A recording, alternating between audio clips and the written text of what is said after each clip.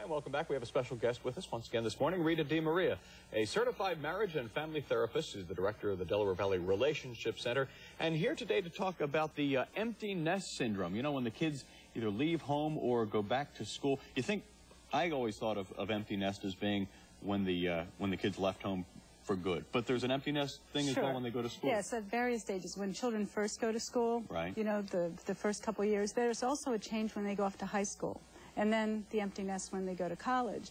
And most people don't just have one child in one stage. They mm -hmm. may mm-hmm. have a child beginning first grade, a child going into eighth grade.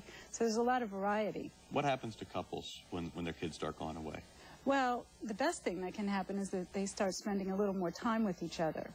You know, sometimes we're so focused on taking care of the kids, making sure that they're prepared for school, that we don't think about adding some extra time for ourselves. Do most people find it to be a positive, a, a, happy thing, hey, we get to spend more time together, or more feeling empty?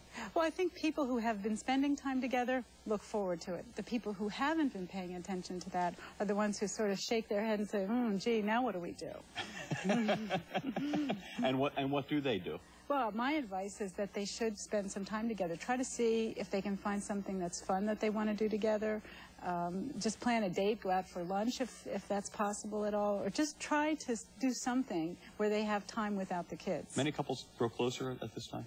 It depends on what they do. I think a lot of couples don't pay enough time, uh, uh, time and attention to themselves, so that will cause them to grow apart. You know, you have to communicate on a regular basis. So more of a shock, I guess, I would assume there's more of a shock when the kids leave home, in theory, for good. Right but again, that depends. If couples have been talking to each other, they've actually been probably looking forward to that time and may even have plans already set up. You know, they're taking off for a vacation that they've been waiting for.